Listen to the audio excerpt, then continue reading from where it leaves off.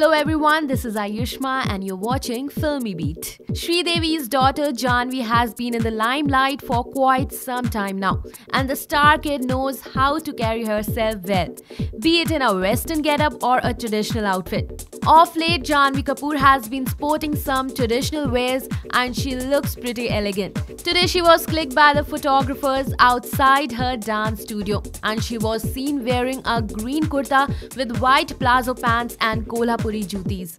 In an interview, Janhvi Kapoor's mom and actress Sridevi revealed that she takes fashion advice from her daughters. Sridevi said, Well, I take inspiration from them. They guide me and I enjoy that. They are the new generation. They know better, they know what is in fashion. Sometimes you are in your own world. As a mother, I have other things to take, but I enjoy asking them and we share. Sometimes they ask me whether it looks good or not, what to change. The same way, even I ask them. We share each other's taste.